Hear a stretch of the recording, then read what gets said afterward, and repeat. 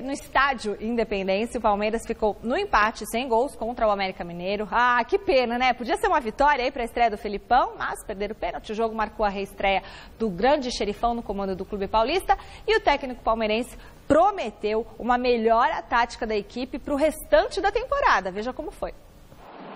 A primeira chance real de gol foi do Palmeiras, no chute cruzado de Johan que João Ricardo defendeu. Na sequência do lance, a bola sobrou para Moisés, que tocou para Jean carimbar a defesa. Cinco minutinhos depois, o Everton apareceu para salvar o Palmeiras no chute de Gerson Magrão. Aos 23 aconteceu o lance que poderia ter mudado totalmente a história do jogo. Matheus Ferraz derrubou Moisés dentro da área. Na cobrança do pênalti, Jean bateu muito mal e João Ricardo defendeu sem muita dificuldade. Já no segundo tempo, aos 10 minutos, o América levou muito perigo ao gol de Everton. Rui bateu colocado da entrada da área e a bola explodiu na trave. E ficou nisso, na reestreia de Luiz Felipe Scolari no comando do Palmeiras, um empate sem gols que manteve a equipe na sexta posição do campeonato. Nós não conseguimos o resultado que queríamos, que era a vitória, mas taticamente gostei muito da equipe. Não tivemos a capacidade de fazer o gol. Ainda penso que posso trabalhar um pouco com eles essa, essa parte de eh, ter mais ânsia, volúpia de nós fazermos os gols e vencermos os jogos, os jogos e eu, em, em, princípio, assim, gostei da minha equipe, gostei bastante. O que, que, o torcedor pode esperar já desse novo Palmeiras do Filipão? Pode esperar uma equipe bem organizada. Praticamente nós vamos estar organizados novamente e vamos começar a ter algumas substituições futuras para determinadas situações de jogo que eu já aproveitei o jogo de hoje e vi. É, e nós vamos ser uma equipe aguerrida. Nós precisamos, precisamos pensar em ganhar o jogo, mesmo que seja lá no Paraguai. Eu acho que esse grupo pensa dessa forma, mas precisa de um incentivo. Precisa que, que a gente coloque algumas, algumas coisas para eles que eles possam pensar sobre como chegar uma Libertadores, como é, o, como é bonito chegar ao, ao final de uma Libertadores. Nós somos 27, 28 jogadores e, eles, e vou usar todos à medida do possível. Então, é, eu acho que com mais, uns, mais uma semana, duas semanas de trabalho, a gente já tem um, um parâmetro ideal da equipe, porque tem alguns que eu ainda não, não pude nem treinar, quando eu me dediquei mais o treino tático. Então, vamos ver, vamos esperar um pouquinho e vamos acreditar mais.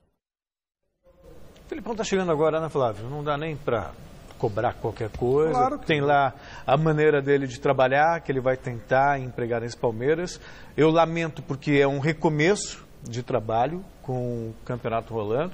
O Campeonato Brasileiro, a situação do Palmeiras não é das melhores, mas Copa do Brasil e Libertadores da América começando a oitava de final, tiro curto. Menos do então, brasileiro, o Palmeiras tem está com 27, São Paulo tem 35. Oito pontos atrás. Pontos, nada Oito pontos assim atrás. de absurdo. Não, não, não é. É que parece um pouco mais difícil, não, né? É mais Considerando difícil, que a Copa é. do Brasil está aí na Tem beira da gente no semifinal. meio também, né? É. O problema é essa coisa de sempre começar, né? Quando você começa do zero, você começa do zero. Ontem o Filipão, ele foi muito sincero quando ele disse que ele se surpreendeu com alguns jogadores que ele não conhecia.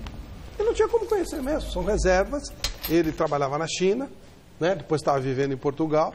E não tem como conhecer. Então, ele está conhecendo os jogadores. É. É o fim da picada, né? é, um, é um absurdo, é um absurdo. Ainda se fosse antes da quando, Copa do Mundo, quando né? Quando um time faz um planejamento do tamanho do Palmeiras, do tamanho do investimento do Palmeiras, você começar o trabalho no mês de agosto é uma piada. Aliás, todo mundo deveria começar o trabalho no mês de agosto é claro. com o começo com, do calendário do mundial. calendário europeu, exatamente. Mas aqui essa várzea, né? Tipo tá assim, começar agora o campeonato. É, não, seja... não, agora não, daqui três dias, quando fechar a janela. É, quando fechar a janela, que aí você já sabe quem vem, Esse quem mês, fica, todo entendeu? mundo começará, os grandes campeonatos começarão. O inglês, Supercopas acontecerão é. nesse final de semana, por exemplo, final campeonato de semana inglês começa, começa inglês. sábado. Isso. É, aí depois vem o francês, o alemão é, no tem final um monte, do aí começa tudo aí.